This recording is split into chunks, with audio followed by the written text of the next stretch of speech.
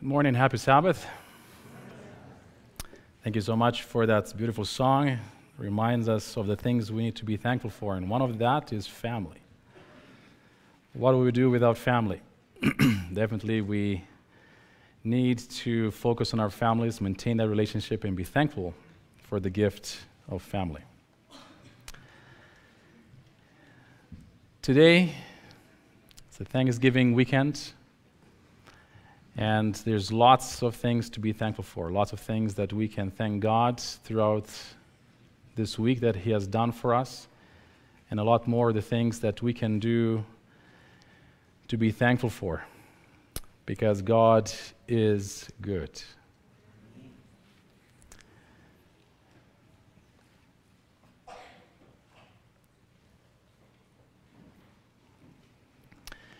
Now, for today, we're going to be going through the last of the Ten Commandments. Hopefully, uh, on the screen is going to show up. Let me. Uh,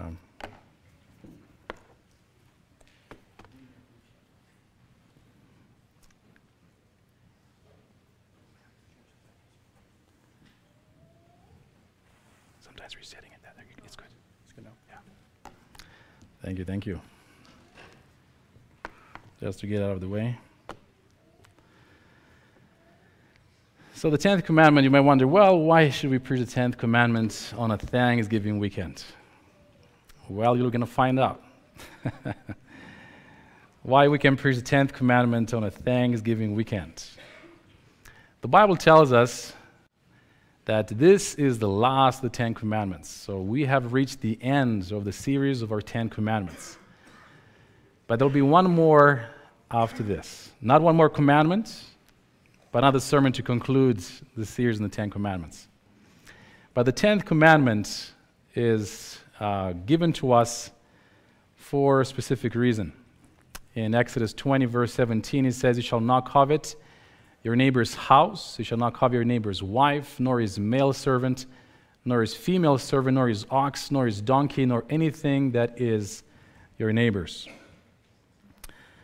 Sometimes when we look at this commandment, we say, ah, this is easy. This isn't hard to do. And sometimes we deal with this commandment in a light manner, as if not being that important. The Hebrew word for covetousness here, or covet,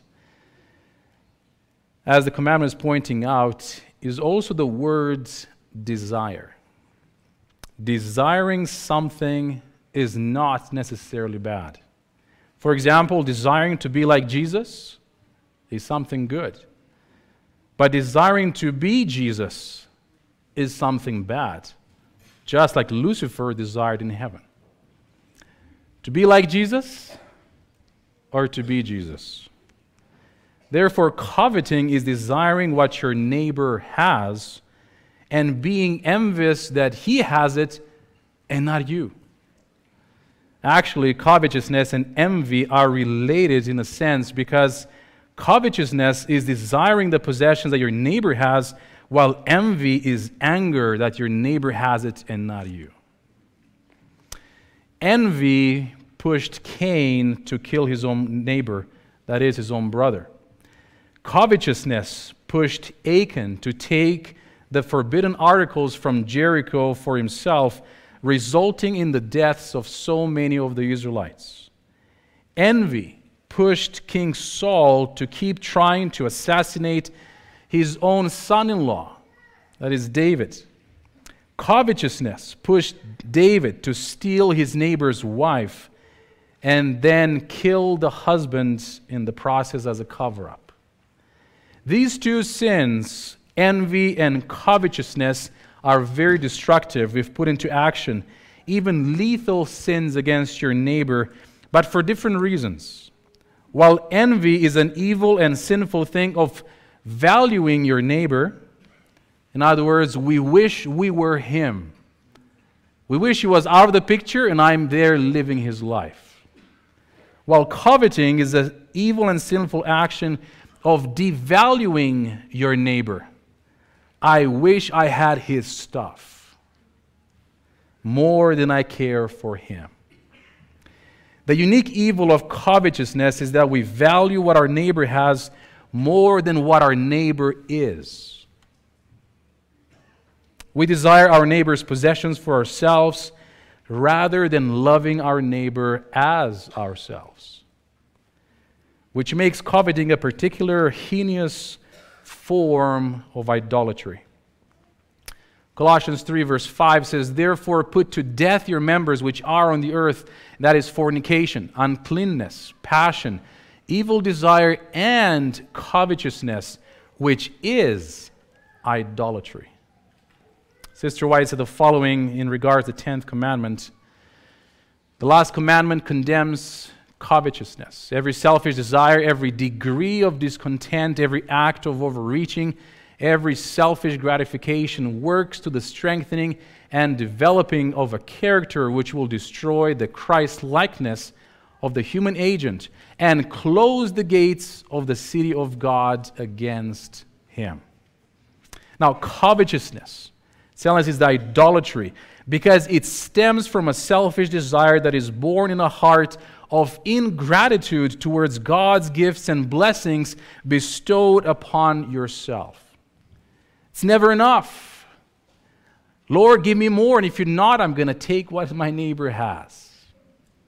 That's why Sister White says that selfish gratification works to the strengthening and developing of a character which will destroy the Christ likeness of the human agent. Coveting is a rejection of God as Creator and Lord over all, since we treasure the stuff more than the, wine, than the one who provides all these things to us, and is also a rejection of God's image in our neighbor, because I am robbing him of the dignity that he deserves by having and living his own life. Coveting is a destructive sin. That's what Achan found out on his own skin. You see, when God gave the command and clear instruction to Joshua to tell all Israel that God was going to overthrow Jericho, and they were not supposed to take anything from Jericho for themselves, but all the gold, the silver, the vessels of bronze, and the vessels of iron were consecrated to the Lord. In other words, this is the first time they crossed over the river Jordan into the promised land, and all that booty, all that they were supposed to capture was the first fruits unto God. Everything belonged to God. This was the first fruits dedicated to Him. Now, in Joshua chapter 7, tells us of a man driven by covetousness, took of the accursed things and the things dedicated to the Lord, and because of that, the entire camp had to suffer because of his sin when Israel was defeated in the battle with the town of Ai, which is the next town they tried to overthrow after Jericho. And some of their soldiers died. Joshua came bewildered to talk with the Lord about this great defeat they have experienced. The Lord revealed to Joshua that one of the people of Israel had sinned, and they needed to find out who it was and punish the sin and administer justice. When Joshua and the elders cast lots under the guidance of the Lord, they found out the man who committed this great sin and brought death upon Israel. When confronted, Achan said the following. In Joshua 7, verse 21, he said, When I saw among the spoils a beautiful Babylonian garment, he even had to say it was a beautiful thing after he was caught, he's like, ah, oh, this is beautiful thing. I'm caught, but listen, it was beautiful. Even mentioning that, he tells us his heart was still there with the things he took. 200 shekels of silver and a wedge of gold weighing 50 shekels. I coveted them and took them. And there they are, hidden in the earth in the midst of my tent with the silver under it. Achan's confession was not repentance, for he only confessed because he was caught, not because he was sorry. And that brought the ruin for him and for his whole family. It is the same with us and with the whole church family. If one person here living in open sin without repenting and without going to the Lord to find forgiveness, the whole church will suffer, for the church is one body. Patriarchs and Prophets, page 497, it says, Achan's sin brought disaster upon the whole nation. For one man's sin, the displeasure of God will rest upon his church till the transgression is searched out and put away. The influence most to be feared by the church is not that of open opposers, for that will come from the outside. The open opposers will be there, the infidels, the blasphemers, but of inconsistent professors of Christ. These are the ones that keep back the blessing of God, of the God of Israel, and bring weakness upon his people. When the church is in difficulty, when coldness and spiritual declension exist, giving occasion for the enemies of God to triumph, then instead of folding their hands and lamenting of their unhappy state, let its members inquire if there is not an Achan in the camp. With, humiliate, with humiliation and searching of heart, let each seek to discover the hidden sins that shut out God's presence. Is anyone among us dealing with the sin of covetousness and not repenting? I invite you to come to the Lord and ask for forgiveness so that your sins may be blotted out so that you may find salvation and peace for your soul. Covetousness is a serious sin, and it needs to be treated as such. Unfortunately, Gehazi didn't think much of it when he broke the 10th commandment. When Naaman found out through the Jewish servant girl that there is hope for his leprosy by going to the land of Israel to find prophet Elisha. He decided to go and bring rich gifts to the prophet of God in hopes for healing. Upon his arrival, Naaman inquired of Elisha the prophet and arrived to his house. But God wanted to test Naaman's faith, so Elisha only sent a message to Naaman to go down to the river Jordan and deep, dip himself seven times. Also, because the prophet would not come even to meet him in person, he stormed off toward Damascus. But on the way, his servants approached him and reasoned with him that he should comply with this request, since the prophet didn't ask anything too hard for him to do. After agreeing with his servants, Naaman went to the river Jordan and did as instructed. And miraculously, the leprosy was healed. God had honored the faith of this Gentile person and made him whole again. Upon his return to Elisha's house, Naaman's gratefulness was overflowing and he wanted to shower the prophet with gifts. But Elisha refused because salvation and healing is not something that can be bought or sold, only received with gratitude and thanksgiving towards God. So Elisha sent him away in peace. But Gehazi, the servant of Elisha, coveted the gifts that Naaman had brought. When he saw the gold, he saw the silver, he saw the clothes, like, wow. He did so much as he ran after Naaman and lied to him in order to get what he wanted. Naaman did not hesitate to give to the Gehazi according to his request, and even went the extra mile to give him more than he asked. But because of his covetousness and lies, he paid dearly.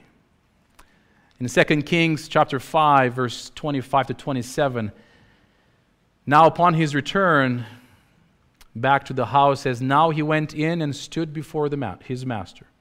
Elisha said to him, Where did you go, Gehazi? And he said, Your servant did not go anywhere. Then he said to him, Did not my heart go with you when the man turned back from his chariot to meet you?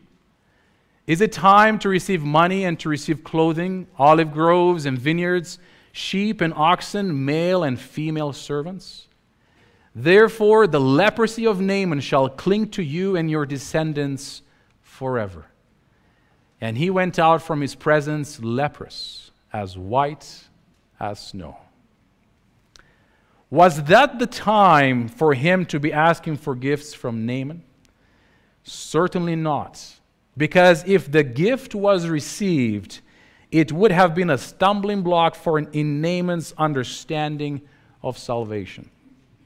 He would have thought that it was the power of Elisha that healed him, and he had to be thankful and showered him with gifts. But Elisha's wise decision helped Naaman realize that it was God who made the miracle, and only Him needs to be thanked and praised and worshiped.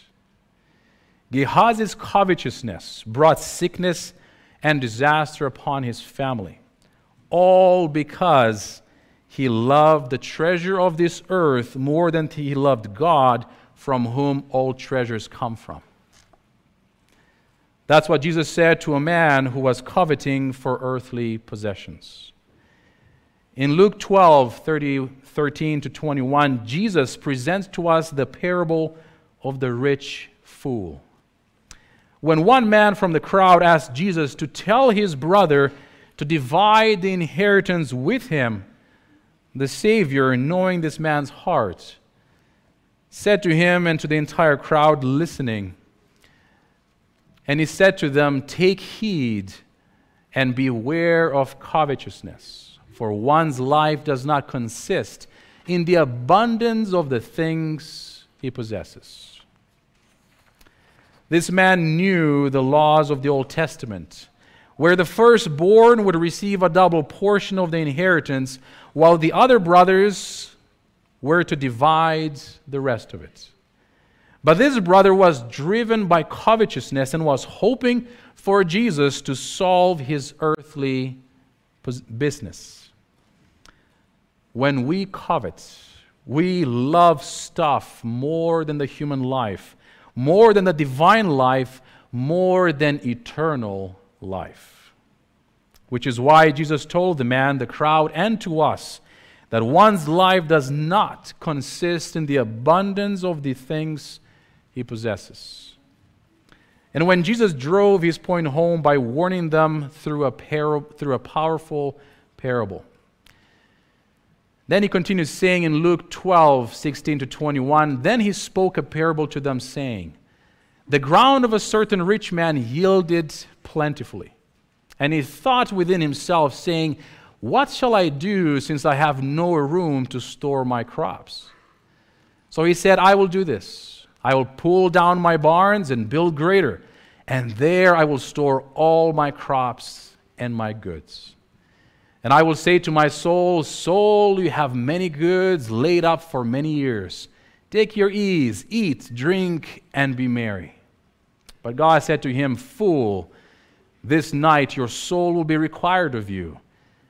Then whose will those things be which you have provided? so is he who lays up treasure for himself and is not rich towards God. At a first glance, it looks like this parable has nothing to do with coveting. But let's look at it again. This man's covetousness turned into greed and stopped being concerned for his neighbor and only concerned for himself.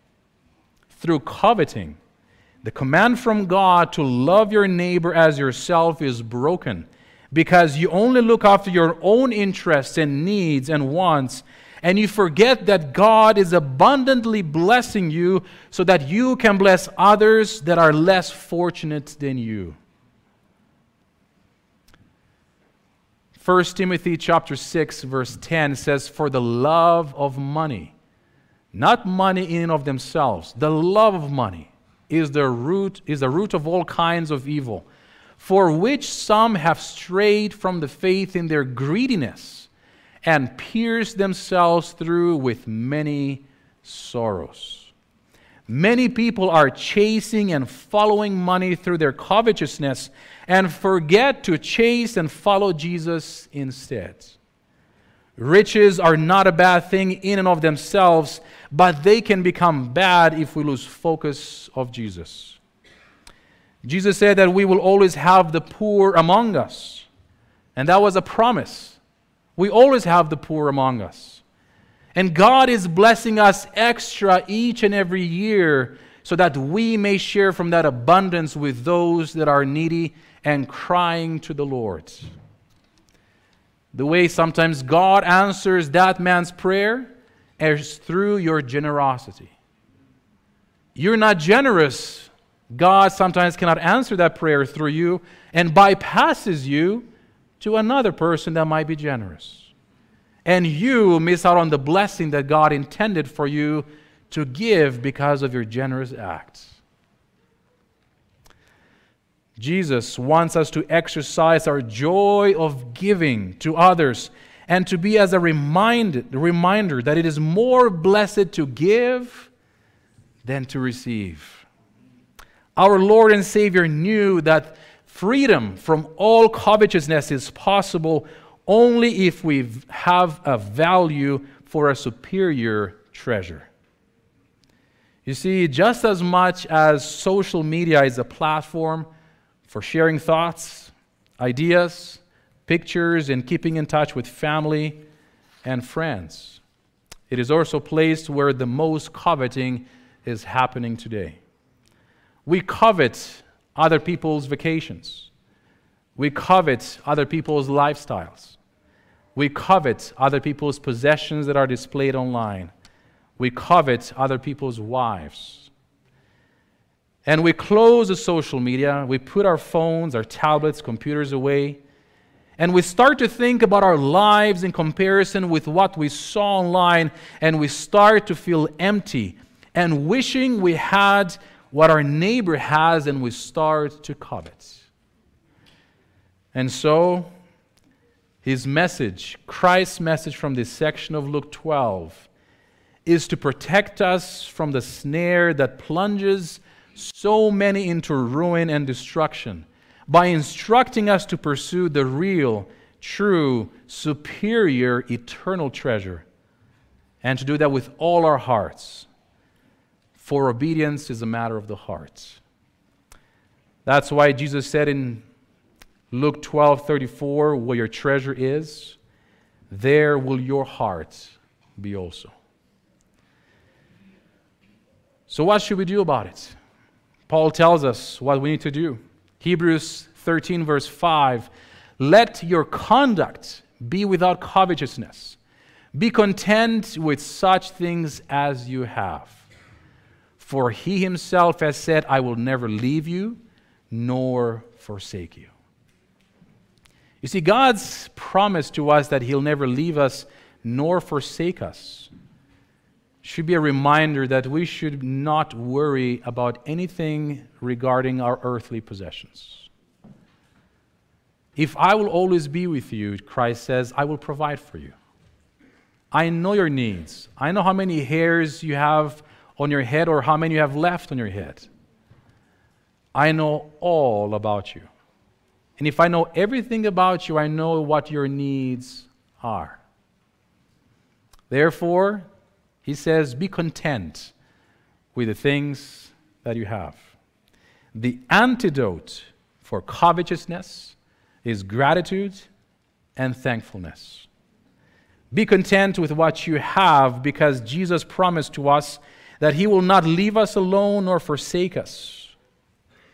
God will provide for you all things. When you covet something, you do not trust that God, as your Father, your Heavenly Father, can provide for your needs. Coveting is a lack of faith in God. But God is inviting us to practice gratitude and thankfulness instead by trusting in Him. This Thanksgiving weekend, God is inviting you to practice being grateful and thankful for what you have. For all that you are, all that you have become in Jesus, we need to come and say, Thank you, Lord. Keeping the 10th commandment is a sign of a changed and transformed life that only Jesus, through the Holy Spirit, can provide for you. Thankfulness is a sign of a changed life, it is a mark of a mature Christian. Even in simple things, we need to be thankful and grateful to God. Don't deserve your praise to God only for the big things in life. Recognize that God is the giver of all good gifts in life, whether small or big. Have you thanked God for everything that you have, everything that you are, and everything that He has done for you? God is waiting for you to thank Him. Colossians 3, verse 15, it says, And let the peace of God rule in your hearts, to which you also are called in one body, and be ye thankful. Being thankful and grateful and content for what you have means that you will not crave nor covet what someone else has, but your attitudes, your words, your actions will show that what you are, what you have is a blessing from God, and you recognize that it is enough. Remember the words of Jesus from Luke 12, verse 15.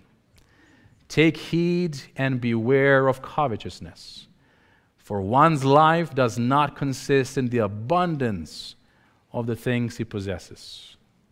Sometimes we like the status that our possessions put us on. I'm this rich, therefore I'm important. If I'm poor, I am not important. Remember, your identity is not in the things you have. Your identity of who you are is in Christ. Whether rich or poor, we're all the same at the foot of the cross. When you come to the grave, the rich and the poor go in the same place, and you take nothing with you. Riches are a blessing from God, but if misused, they will prove to be a curse. So I invite you do not lose your own soul in the process of acquiring an abundance of things. And do not neglect the real important things in life, such as God and family. In conclusion, I'd like to read to you a poem by Roger Horsch that is entitled Thank You, Lord. I thank you, Lord, for hearing me when I get on my knees to pray. I thank you, Lord, every day for life as I go from day to day. I thank you, Lord, for your sacrifice when you died on the cross for me. I once walked through life being blinded, but because of you, I now can see. I thank you, Lord, for the miracles you send, your love, forgiveness, and grace. I thank you, Lord, for carrying me when I could no longer set the pace. I thank you, Lord, for lifting me. My spirit you lift so high. I thank you, Lord, when I'm feeling down, because you give me the will to try. You give me the path, you gave me the path to eternal life. And only you, my Lord, know when the day I can thank you face to face. In Jesus' name, amen. Be thankful, be grateful, and say to God, It is enough. Don't covet anymore. That's my prayer for you. Amen.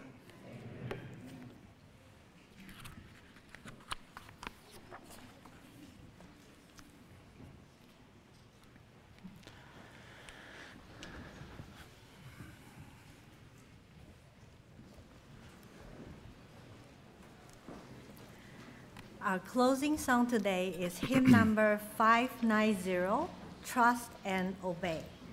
Let's stand and sing together.